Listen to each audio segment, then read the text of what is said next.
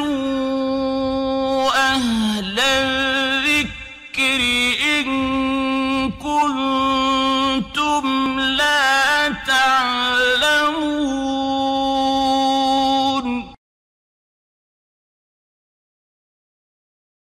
আসসালামু রহমতুল্লাহ বারাকাত এবার সোনালী খাতুনের কথা কি করব যদি আমি কারও অন্ধ অনুকরণ করে তার কথাটাই মেনে নেই, তাহলে কি গোনা হবে? না।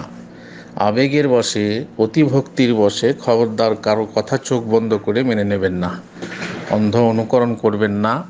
যার কথাটা যুক্তিযুক্ত দলিল পুষ্ট তার কথাটাকে কিনতে মানতে হবে। আপনি যাকে বেশি ভক্তি করেন, তার কথাটা যদি মনে হয় যে, না, এর পেছনে যুক্তি আছে, কিন্তু অন্যের যুক্তি যাকে আপনি বেশি ভক্তি করেন না, তার যুক্তিটা বেশি যুক্তিযুক্ত দলিল পুষ্ট তার কথাটা তাহলে তার কথাটাই মানতে হবে।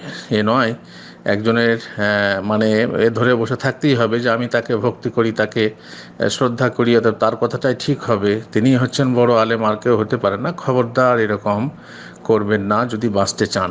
বাঁচতে চান, তাহলে যেটা বেশি যুক্তিযুক্ত সেটা মেনে নেবেন।